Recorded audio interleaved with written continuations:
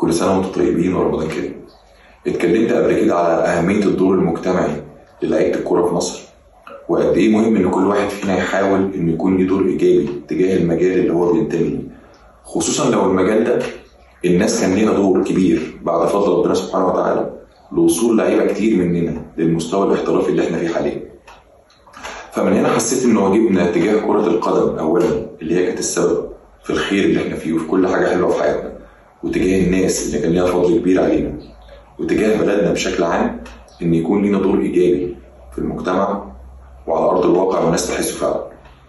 آه كتير مننا كلعيبة طبعا ممكن يكون بيعمل عمل خيري بشكل فردي. آه ده مش ممكن ده أكيد طبعا. فمن فترة مش قليلة فكرت أنا إزاي ممكن أقدم ده بشكل منظم وبشكل الناس تحسه فعلا على أرض الواقع وفي نفس الوقت يبقى سهل الوصول ليه. فبإذن الله الفيديو ده هو إعلان مني على إنشاء حساب لينا دور. لينا دور ده حساب على مواقع موقع التواصل الاجتماعي إنستجرام فقط لا غير. مش موجود على فيسبوك ومش موجود على تويتر. الهدف الأساسي من الحساب ده هو توفير العلاج والتاهيل لإخواتنا لاعبي الكورة في مراكز الشباب والدرجه الرابعة والثالثه والثانيه اللي غير قادرين على توفير العلاج والتاهيل أو مش قادرين يحصلوا عليه.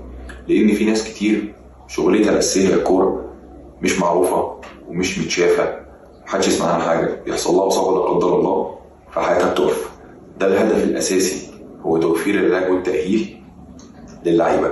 وأي حاجة تانية ممكن نقدمها أكيد مش هنتأخر. أه لا قدر الله لو أي حد حصل له إصابة كل المطلوب إن هو يبعت رسالة خاصة على الحساب. التنسيق معاه ومع الدكاترة وكل ما هو بعد الرسالة دي إن شاء الله هنحاول نقدمه بأفضل صورة بحيث إن هو يرجع ويمارس حياته بشكل طبيعي.